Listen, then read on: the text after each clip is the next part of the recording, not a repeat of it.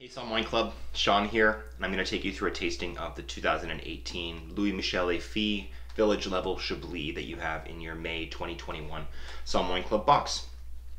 Now, I know that there's going to be at least one person out there that says, I don't like Chardonnay. And that's fine. I understand. But, in my experience, when someone says they don't like Chardonnay, usually what they're referring to is oak. Now, Louis Michel has basically based their whole winemaking principle on not using oak. They only use stainless steel. They do everything in stainless steel tanks. Uh, it is very controlled in terms of the amount of oxygen that the wine is getting uh, and no oak flavor. So very steely, very minerally, very clean, crisp, refreshing. Now, for those people that say, I don't like Chardonnay, I challenge you. Taste this. If you don't like this, then like I said, it's possible that you don't like Chardonnay. But in my experience, more often than not, it's the oak that you don't like, which is totally understandable. It is a strong component of a lot of fuller bodied white wines, and it's not everybody's piece of cake. So, this is just a beautiful, clean, bright, easy drinking, refreshing, and complex white wine. There's Meyer lemon, there's green apple, there's a peachy note to it there's crushed white stones.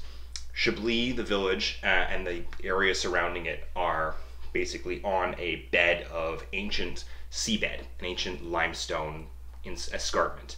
Uh, it's called Kimmeridgian.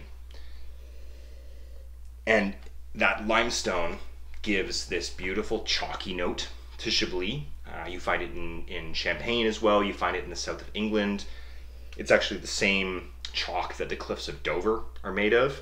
Kind of stretches all the way across that northern part of Central Europe.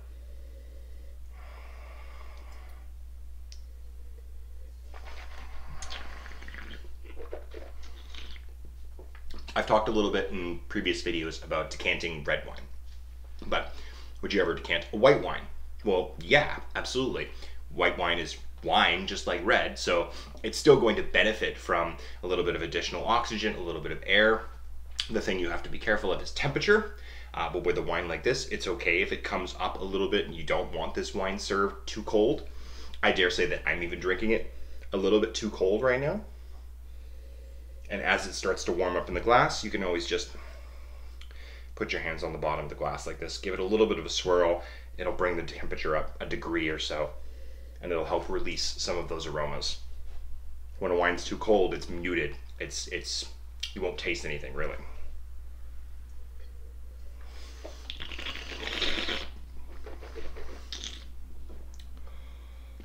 I love the finish on this because, like I said, it's refreshing, it's bright, but it's salty mineral peanut shell um, sometimes people will use the the expression beer foam, which is talking kind of in a tongue-in-cheek way about the lees, about the the yeast, the dead yeast cells that they stir up in the tank to give texture and, and weight and definition to the wine without adding a whole lot of um, richness.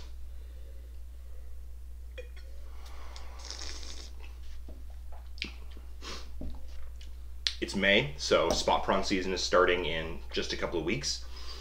Chablis and spot prawns are a match made in heaven, especially if you don't mind the actual like sweetness of the of the head and the inside of the shell the kind of peachy note the ripeness of this vintage in chablis in 2018 makes it very approachable makes it really drinkable right now uh, so yeah go grab some spot prawns